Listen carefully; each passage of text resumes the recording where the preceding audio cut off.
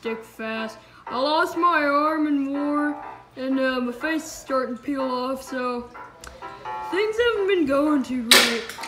Sometimes I find myself in situations where I just randomly fall, like this one. Do we have to finish the shoot today? I'm not feeling so great. Yeah, yeah, we gotta finish it. Fine. Well, uh, sometimes I find uh, the sky falls down on me. You know?